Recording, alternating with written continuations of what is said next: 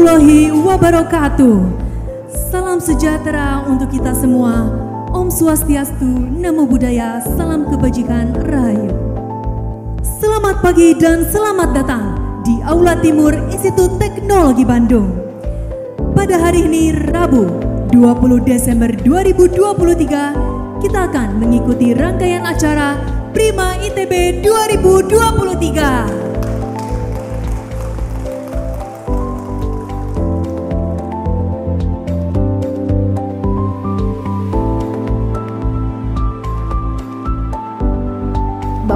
Bisa melihat bagaimana uh, hasil-hasil uh, ITB. Semua upaya ini adalah untuk memperkuat budaya ilmiah unggul. Meneliti itu bukan sekedar, justru itu sesuatu yang harus kita lakukan sehari-hari ya sebagai masyarakat akademis. Tapi yang kita inginkan adalah membangun budaya ya. Budaya ilmiah unggul. Nah, ilmiahnya ini maksudnya semuanya harus ada scientific base bukan sesuatu yang uh, dibuat-buat bukan kosmetik tidak perlu didorong-dorong gitu ya tapi sudah menjadi budaya. Di ITB sudah ada budaya itu tetapi perlu diperkuat dan terus di uh, influencekan kepada uh, kawan-kawan yang baru gitu ya ataupun uh, sivitas yang lain gitu ya di luar ITB untuk kita maju bersama. Nah, semoga kita terus dapat meningkatkan karya ITB yang lebih berkah, bukan untuk uh, diri sendiri, bukan untuk kelompok, bukan untuk ITB, tapi buat bangsa dan uh, menjadi bekal kita semua dalam hidup ini.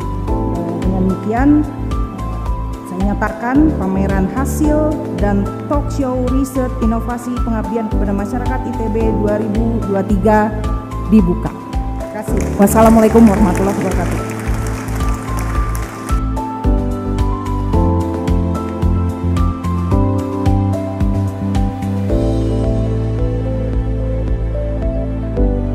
Indonesia telah menoreh sekitar 280 ribu publikasi penelitian hasil penelitian sekitar uh, sejak enam tahun lalu. Dan ITB sudah berkontribusi sekitar 13.000 artikel publikasi. Dan kabar baiknya uh, pertumbuhan artikel ITB hingga dari tahun ke tahun tahun ini uh, kami uh, meningkatkan pertumbuhan di uh, terutama publikasi top tier journal uh, atau biasanya disebut sebagai Q1 uh, sudah mencapai sekitar hampir 40 persen. Untuk itu di sesi ini akan sangat menarik untuk kita diskusikan terkait dengan seputar penelitian.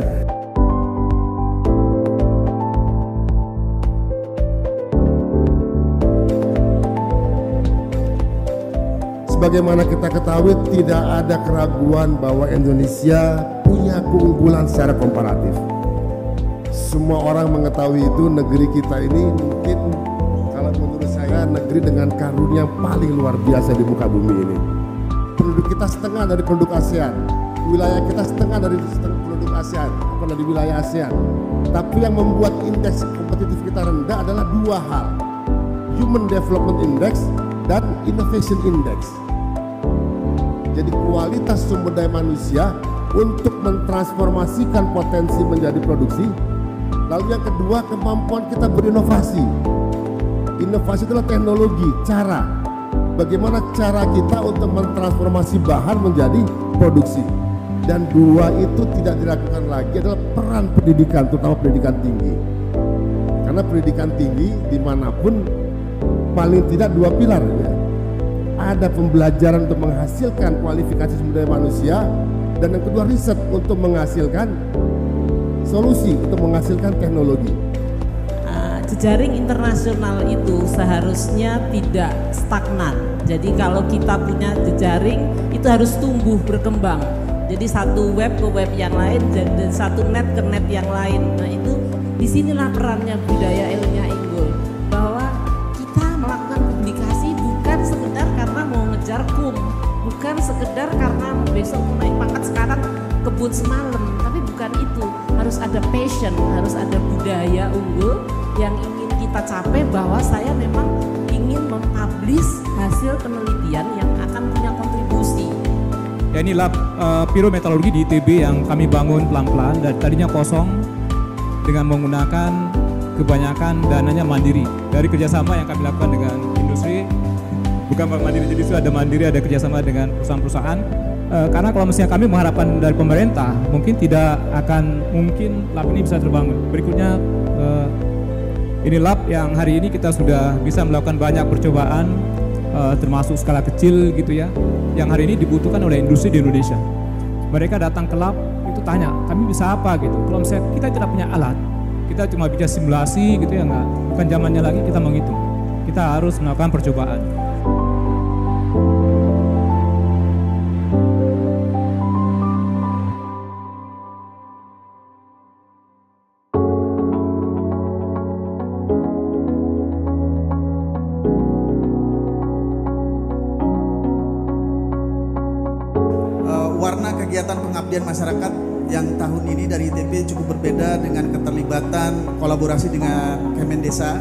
Kita menyasar desa-desa tertinggal daerah 3T wilayah Indonesia Timur dan kita mencapai jumlah kegiatan 74 kegiatan.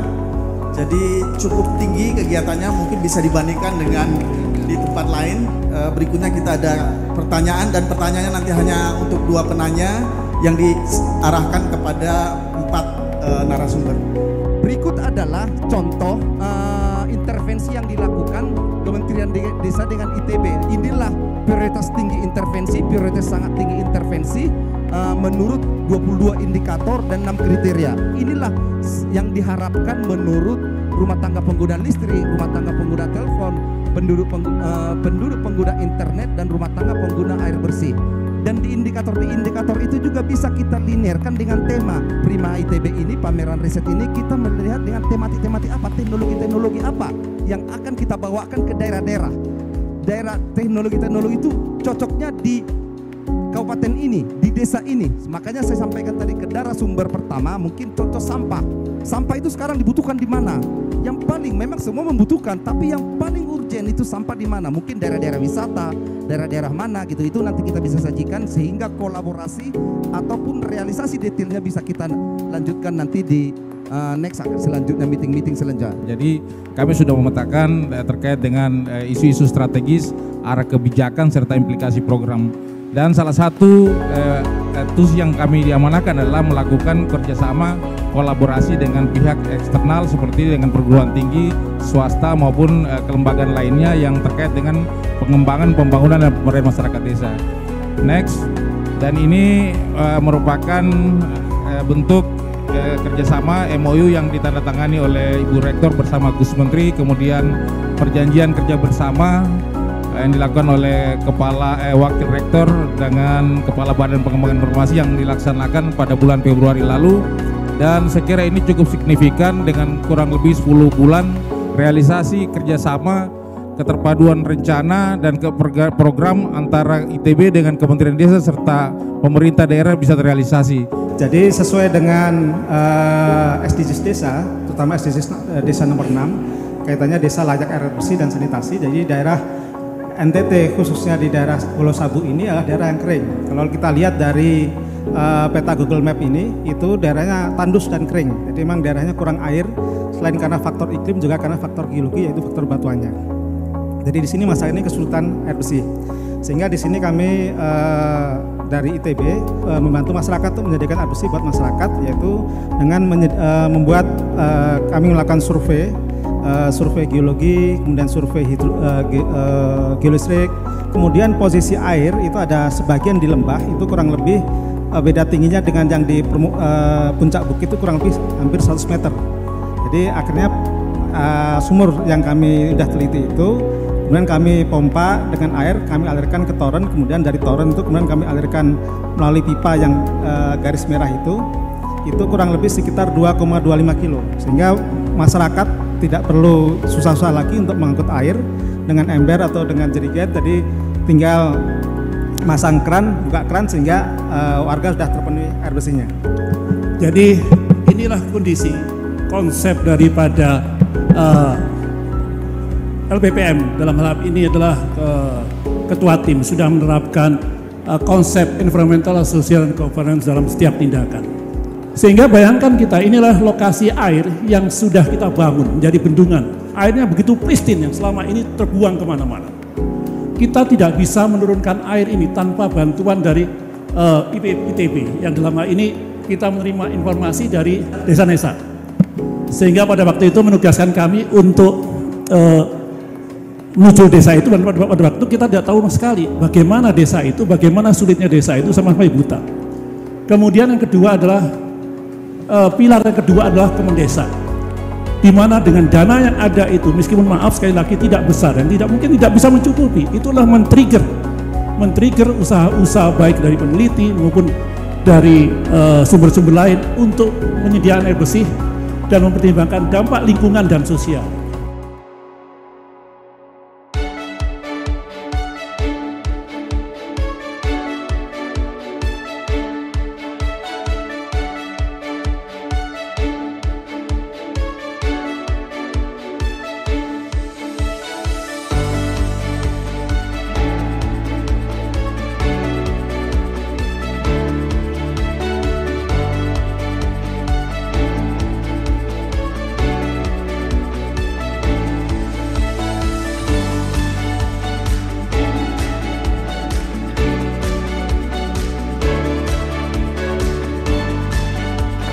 Ini acara akhir tahun yang itu diselenggarakan oleh eh, ITB untuk sebagai ajang pertanggungjawaban pelaksanaan riset, inovasi, dan pengabdian masyarakat yang dilakukan oleh dosen dan mahasiswa ITB selama tahun 2023. Jadi ada pertanggungjawaban substansi kita tunjukkan di pameran ini sehingga masyarakat umum bisa mengakses baik datang ke sini hari ini maupun selama setahun kita buka secara virtual di alamatnya Prima ITB itu masyarakat bisa masuk berselancar mempelajari poster dari semua riset yang ada di ITB tahun 2023 jadi sebetulnya ini semacam ajang pertanggungjawaban dari kegiatan penelitian inovasi dan pengabdian masyarakat yang dilakukan oleh Sivitas Akademika ITB supaya masyarakat paham di ITB apa aja sih risetnya dilakukan? Nah, bisa masuk ke virtual exhibition tadi untuk melihat masing-masing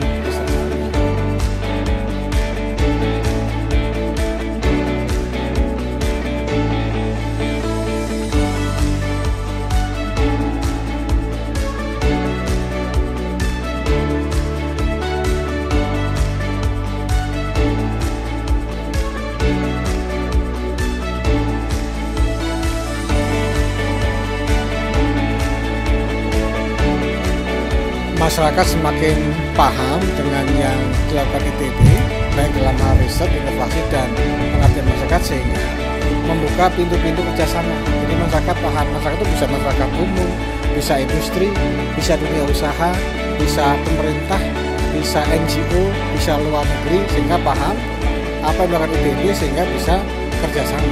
Nah kalau dengan kolaborasi ini harapannya efeknya itu lebih besar.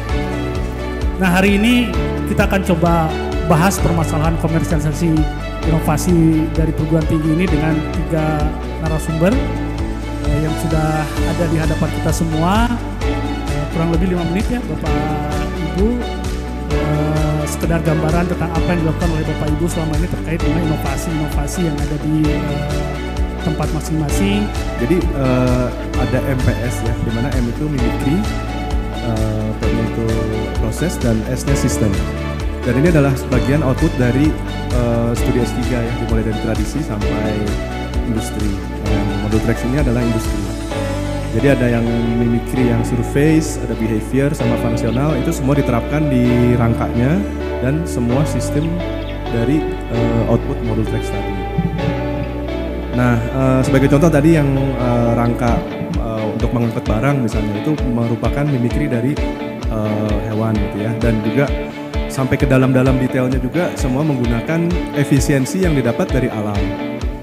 Uh, katakanlah si honeycomb ya, honeycomb kan seperti diketahui paling efisien dari kekuatan berbanding dengan material.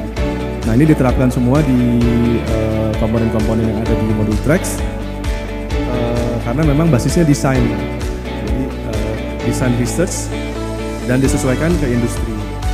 Nah di sini memang fokusnya bukan ke uh, katakanlah BLDC motor gitu ya atau mungkin ke operating sistemnya, tapi lebih ke yang fisik bagaimana uh, kekuatan atau strategi alam itu bisa kita sampaikan ke produk agar mempunyai daya, daya saing yang uh, tinggi. Gitu ya.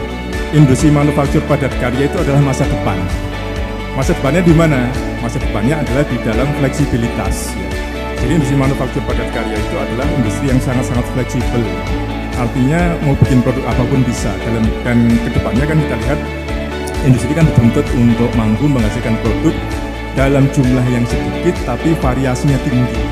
Nah kita yang punya kemampuan sebenarnya potensi kemampuan yang fleksibel Nah, mari kita manfaatkan dengan baik. Sebenarnya ini, ini masa depan kita ya.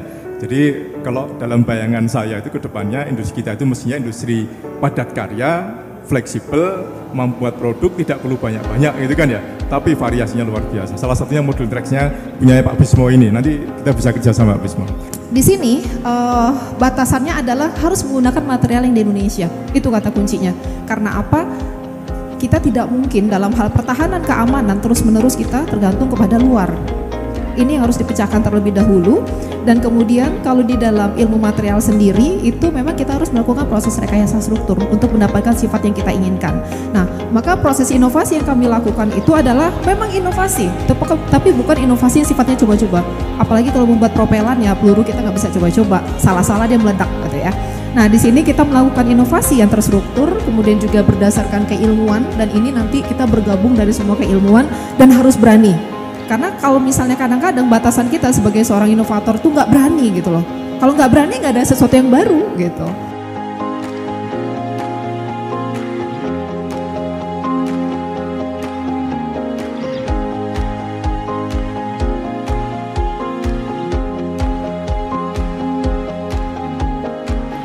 masyarakat semakin paham dengan yang dilakukan ITB baik dalam hal riset, inovasi dan pengabdian masyarakat sehingga membuka pintu-pintu kerjasama.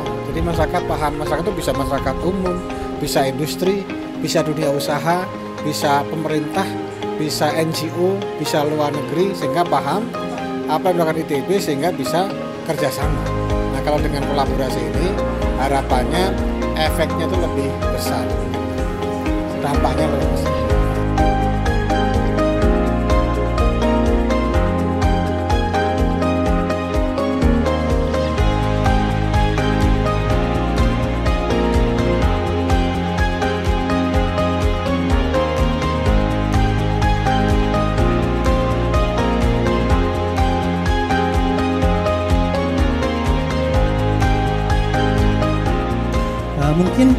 Kita mulai dari uh, Ibu Dr. Melia dari uh, Pusat Rekayasa Katalisis ITB yang akan membawakan uh, paparan berjudul Katalis Merah Putih penelitian, pengembangan dan komersialisasi uh, kepada Bu Melia saya persilahkan. Silahkan.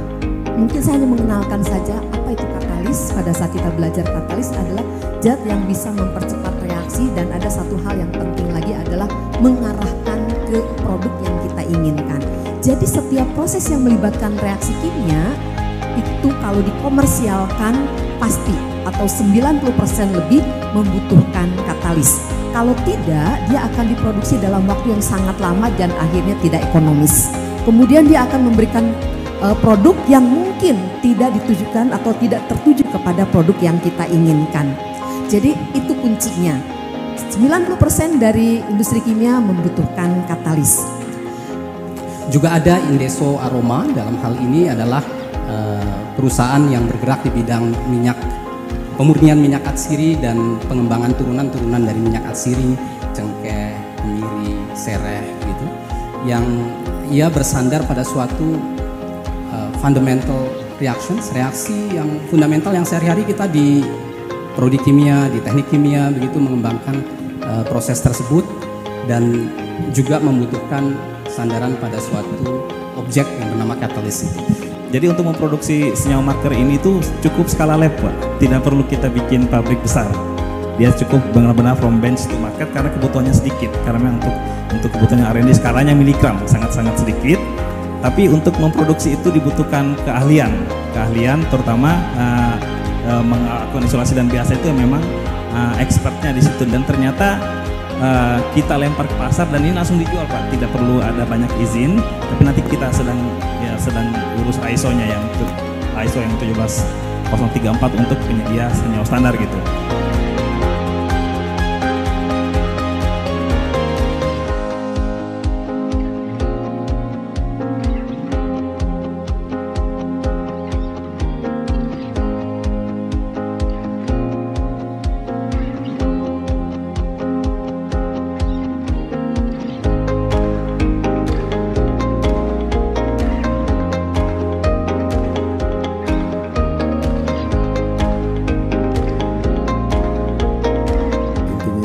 Jadi memang tetapi tugas kita sebagai dosen, sebagai peneliti gitu ya, itu memang di keilmuannya menangkan itu ya.